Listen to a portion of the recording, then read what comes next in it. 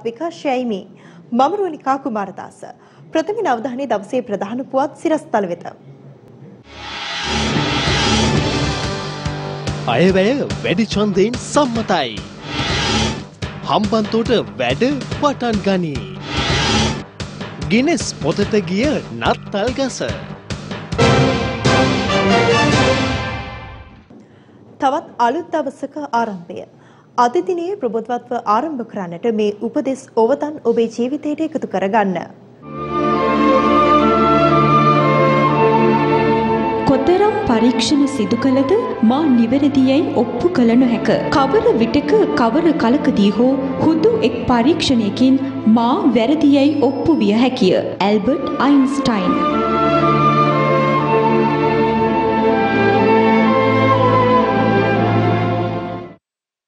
හම්බන්තොට වරාය ගිවිසුමට අනුව එහි මෙහෙයුම් කටයුතු නිල වශයෙන් ආරම්භ කිරීම ඊයේ සිදු කෙරුණා.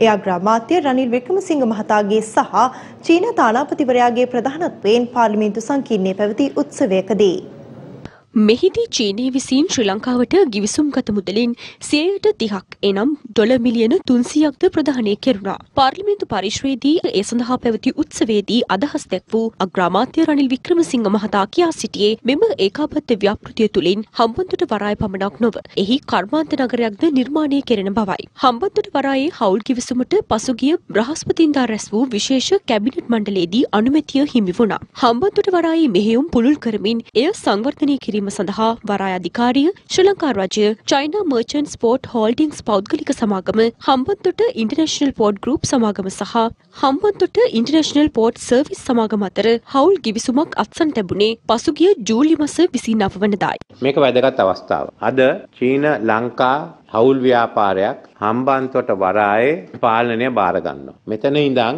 මේ හම්බන්තොට වරාය ඉන්දියන් සාගරයේ ප්‍රධාන වරායක් බවට පත් කරන්නටයි අපි ක්‍රියා කරලා තියෙන්නේ. හම්බන්තොට වරාය දියුණු කරන්නට ක්‍රියාකාරී වරායක් ඇති කරන්න ක්‍රියා කරලා තියෙනවා. පළමුවෙන්ම මේ වරාය වටේ ආර්ථික කලාප කීපයක් ඇති කරන්නට යනවා. කර්මාන්තකරණයක් සිදු වෙනවා. මේ ප්‍රදේශයේ නාවික ගමනාගමනයක් කර්මාන්තත් සංචාරක ව්‍යාපාරයක් දියුණු වීමෙන් පළවෙනි වතාවට රුහුණට ආර්ථික කර්මාන්ත ආර්ථික පදනමක් අපි ලබලා දෙනවා. මේකෙන් සිදු වෙන්නේ අපි ප්‍රකාශ කරපු ලංකාව ඉන්දියන් සාගරයේ කේන්ද්‍ර ස්ථානය කරන එකට වැදගත් පියවරක් ගැනීම. මාගම්පුර වරාය චීනය එක්ක එකතු වෙලා අවසන්. දැන් කවුද දිනුවේ? රටේ සංවර්ධනයට අවශ්‍ය ගමන මොන බාධකාවත් යන්න ඕන. එක් එක්කෙනාගේ දේශපාලන ව්‍යාපාර තර කරන්නේ නැතුව. එයයි ජනතාවයි රජයයි ඉගෙන ගන්න ඕන පාඩම. දේශපාලන සම්බන්තොට මාගම්පුර වරාය මූලික කරගනිමින් දේශපාලන ව්‍යාපාර ගණනාවක් තමන්ගේ කුසපුරවා ගන්නට විවිධ උද්ඝෝෂණ වැඩවර්ජන සත්‍යග්‍රහ ව්‍යාපාර නොඑක් ආකාරයට තිබ්බා. හැබැයි කෝ අද ඒ ව්‍යාපාර. කාලෙන් කාලට වෙනස් වන ඔවුන්ගේ දේශපාලන සටන් පාටවල දැන් මාගම්පුර හම්බන්තොට වරාය නැහැ. ඔවුන්ට ඊට වඩා රසවත් මාතෘකා ලැබිලා. තමන්ට පෝෂණය වෙන්නට පුළුවන් මාතෘකා ලැබිලා.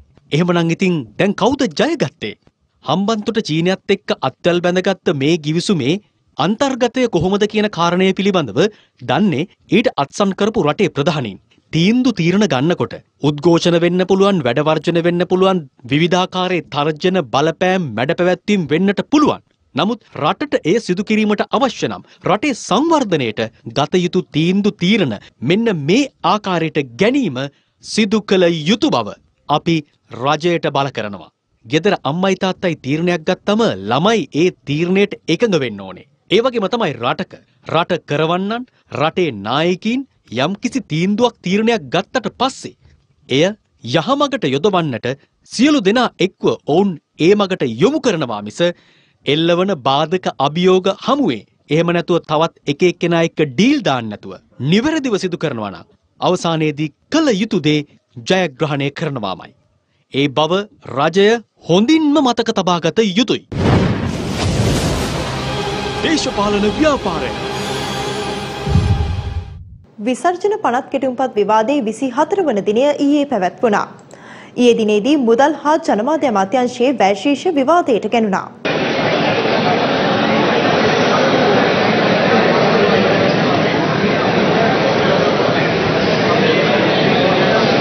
ඡන්දය ප්‍රකාශ කිරීමට අපහසුතාවයට පත් වූ ගරු මන්ත්‍රී කෙනෙක් ඉන්නවනේ කරුණාකර අත උස්සන්න.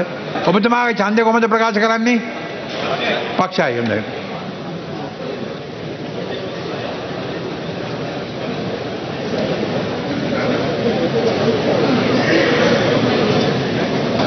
අයවැලකට පක්ෂව ඡන්ද 154 ලෙස අමතර එක 155යි විරුද්ධව ඡන්ද 56යි ඡන්දය නොදී සංකාව බිඳුවයි මුදල් හා ජනමාධ්‍ය අමාත්‍යංශ වෛශීර්ෂ අද පාර්ලිමේන්තුවේදී විවාදයට ගැනුණා. මේ එහිදී පළ වූ අදහස් කිහිපයක්. පෙරදිග දකුණු යුරෝපයේ ආසියාවේ සේවය කරන අයට බදුවලින් සම්පූර්ණ නිදහස් කරන්න කියලා. අපි ඉල්ලා සිටින.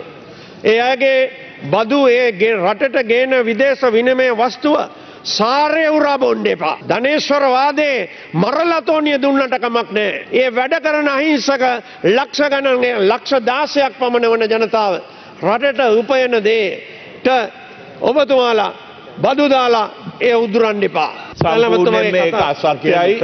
ඒක අපි නිවැරදි කරලා තියෙනවා ඒ වගේම කම්කරු ඇමතිනියත් ඒක නිවැරදි කරලා තියෙනවා ඒක නිසා කරුණා කළා සුපුරුදු පරිදි මේ පාලිමේන්තුව නොමග යවන්න එපා අද ලෝකයේ ආර්ථිකය ඉතාමත් අමාරු තත්ත්වයක් තුළින් ගමන් කරන අවස්ථාවේදී අපට පුළුවන් වෙලා තියෙනවා ඒ දෙදස් පහළවේ ජනතාව දුන්න වරම තුළින් ඉදිරිපත් කරපු ආණ්ඩුවේ වැඩපිළිවෙල ඉතාමත් ශක්තිමත් මට්ටමට ඉදිරි දැක්මක් සහිතව ඉදිරියට ගැනීම හැකියාව. හැබැයි මේක තුළින් අප යම් විශේෂ මූල්‍ය කරුණු සම්බන්ධයෙන් කටයුතු කරන මේ අවස්ථාවදී මං මේ අවස්ථාවදී යම් දැනුවත්කමක් තුළින් අදහස් ඉදිරිපත් කරන්නේ අප මේ රටේ ආර්ථික ශක්තිමත් භාවයක් ඇති කිරීමට අපි කටයුතු කරන්න අවශ්‍යතිය.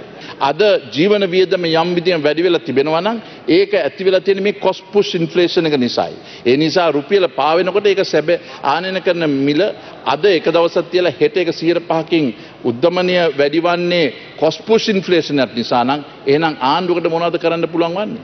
ආනයනය කරනු ලබන පානීය නොවන ඒ කියන්නේ මත්පැන් නිෂ්පාදනයට නොගන්නා ස්ප්‍රීත්තු සෑම තොග කිලෝග්‍රෑමයකට රුපියල් 15ක් බැගින් බද්දක් ඇති කළා තිබෙනවා දෙසැම්බර් නොවැම්බර් මාසේ 10 වෙනිදා සිට ක්‍රියාත්මක වේ. ගරු ඇමතුමනි මම මේ කරුණ නිසා මේ මත්පැන් නිෂ්පාදන නොගන්නා මේ මෙතනෝල් ආනයනය සඳහා කිලෝග්‍රෑමයට රුපියල් 10ක පමණ බද්දක් පැනවීමෙන් විශේෂයෙන්ම අපේ රටේ දේශීය කර්මාන්ත රාශියකට බලපෑමක් ඇති වී තිබෙනවා. ගරු ඇමතුමා ඔබතුමා නොවැම්බර් මාසේ 9 වෙනිදා ඒ ගරු සභාවට ගැසට් නිවේදනයක් නිකුත් කරලා තිබෙනවා.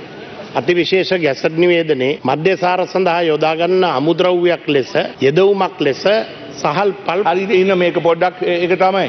ඔව්. ඉතින් ඉන්න ඒ තිබ්බ එකට දීලා තියෙන මේක අලුත් දෙයක් නෙමෙයි.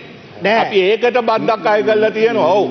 මේ වෙලාවේ සහල් හිඟියක් තියෙන වෙලාව. ඔබතුමා කරුණා කරලා මේ බණ්ඩුල ගුණවර්ධන මන්ත්‍රීතුමා ඔබතුමා කියන හැම දෙයක් වගේම කාඩ් එක වහලා ගහන දේවල් තමයි ඔබතුමා කියන්නේ. ඔබතුමා ওই කාඩ් වහලා ගහනකොට කොහෙවත් කිව්වේ නෑ මේකට මුල් වතාවේ අවසර දීලා තියෙන්නේ මේ අපේ ආණ්ඩුව නෙමෙයි ඔබතුමත් හිටපු මහින්ද රාජපක්ෂ ආණ්ඩුවේ. ඔව්. දෙදස් හයේ දෙදස් හයේ මමත් හිටපු දෙදස් හයේ මමත් හිටිය හිටපු ඔබතුමත් හිටපු මහින්ද රාජපක්ෂ ජනාධිපති වෙච්ච ගෝටාබේ රාජපක්ෂ ආරක්ෂක ලේකම් වෙච්ච බැසිල් රාජපක්ෂත් තව මොකද්ද කරපු ආණ්ඩුවෙන් දීපු අවසරයක්. කතානායකතුමනි දෙදස් දහට අයවැය මගින් එතනෝල් නිෂ්පාදනය සඳහා භාවිතා කරන අමුද්‍රව්‍යවලට එහි සුරාබදු අනුපාතය අනුව බදු අය කිරීමට මම යෝජනා කරා. ඔන්න ඕකයි මෙතුමා කියන්නේ. රාජ්‍ය ප්‍රවාහන සේවය දුම්රිය සේවයයි. වැඩවර්ජනයක් ආරම්භ කරලා දැන් දවස් තුනක් ගත වෙලා. මෙය අත්‍යවශ්‍ය සේවාවක් කරගනිමින් ජනාධිපතිතුමා ගැසට් නිවේදනයකුත් නිකුත් කළා. ඒ අතර විශේෂභාර අමාත්‍ය නිමල් සිරිපාල ද සිල්වා මහතා වර්ජනය ගැන කියන්නේ මේ වගේ දෙයක්. රජයේ පැත්තෙන් එයාට අසාධාරණයක් වෙලා නැහැ. අපි දෙන්න පුළුවන් හැම දෙයක්ම දීලා තියෙනවා. සමහර අය ඔය ස්ට්‍රයික් කරන අය මාසෙකට ඕවර් ටයිම් එකත් එක්ක 221000ක් මාසෙකට පඩි ගන්න අය. මේ රටේ මාධ්‍ය මේවා අවුස්සන්නේ නැතුව ජනතාවට නියම පණිවිඩය දෙන්න. මේ වෘත්තීය සමිති ගෙන යන වැරදි ක්‍රියාමාර්ගය මෙවැනි අසාධාරණ වෘත්තීය ක්‍රියාමාර්ගයන්ට එරෙහිව පාරට බහින්න ඕනි ජනතාව. අසාධාරණ වෘත්තීය සමිතිවලට එරෙහිව පාරට බහින්න ඕනි. ඇයි ජනතාව පාරට බහින්න නැත්තේ. මොකද ඒ තරම් අසාධාරණයි. මොකද අපි කරන්න පුළුවන් හැම දෙයක්ම ඉෂ්ට කළා තියෙද්දි මේ විදියට අසාධාරණ ලෙස කරනු ලබන වැඩ වාජ්‍යන්නේ පිළිබඳව. දැන් මේ ගැසට් පත්‍රය අපි දුම්රිය සාමාන්‍ය අධිකාරීතුමාට යවනවා. එතුමා නිවේදනයක් නිකුත් කරන්න ඕනේ. මෙවැනි ගැසට් පත්‍රයක් පළ කරලා තියෙනවා. ඒ අනුව වහාම සේවයට වාර්තා කරන්න කියලා. ඊට පස්සේ අපි සේවයට වාර්තා නොකරපු අයට කියනවා වහාම සේවයට වාර්තා කරන්න නැත්තම් අපි ලිඛිතව එයාට දන්වනවා උන් සේවය අතහැර ගිය හැටියට සලකනවා කියලා. ඒ නීත්‍යානුකූල ක්‍රියාමාර්ගය අපි ගන්නවා. අපේ රටේ මාර්ග තදපදය කොතරම් ජනතාවගේ මුදල් කාලය විනාශ කරනවද? රටේ සංවර්ධනයට මේ ට්‍රැෆික් එක මරු පහරක්. හැබැයි වාහන තදබදය අඩු කරන්න කියලා හදන්න පටන් ගත්ත රාජගිරිය ගුවන් පාලමත් ජනතාවට හිසරදයක් වෙලා. ඒ පාලම ඉදිකිරීමේ ඉබිගමන නිසයි. රාජකිරිය ගුවන් පාලම දෙසැම්බර් විසුවනදා විවෘත කෙරේ. හිතට ලොකු සහනයක් දැනුන නේද. ඔළුවේ කැක්කුම හැදෙන කොළඹ ට්‍රැෆික් එකට පොඩි හරි සහනයක් ගන්න පුළුවන් රාජකිරිය ගුවන් පාලම විවෘත කරනවා කිව්වහම කාටද සතුටක් නැත්තේ. ඒත් අපේ දේශපාලච්චීන්ගේ පොරොන්දු මල්ලට වැටුණු තවත් එක බොරු පොරොන්දුවක් බවට අද රාජගිරිය ගුවන් පාලම විවෘත කිරීම පත් වෙලා. කොළඹ නගරයේ මාර්ග තදබදය අවම කරන්න කියලා වත්මන් රජය විසින් ක්‍රියාවට නංවපු පළමු ගුවන් පාලමේ වැඩ කටයුතු තමයි තවමත් මේ ඉබි ගමනින් සිදුවන්නේ. අප හැමෝම පුලපුලා බලා සිටින්නේ මෙම ගුවන් පාලම මතින් ගමන් කරන්නේ කවදාද කියලා. ඒත් ඒ ආශාව ඉෂ්ට වන දිනය පාලගිරි දෝෂයක් බවට පත් වෙලයි තියෙන්නේ. දෙසැම්බර් විසිවනදා විවෘත කරනවා කිව්වට පිට සක්වල ජීවින්නාවත් මේ ගුවන් පාලම විවෘත කරන්න හම්බෙන්නේ නැහැ මේ තියෙන තත්ත්වය හැටියට තවත් මාස කිහිපයකින්ම. අතලොස්සක් සේවකින්. ඔහේ ඕනවට එපාවට වැඩ. කඩිසර නෑ ඉක්මන් නෑ උවමනාවකුත් නැහැ.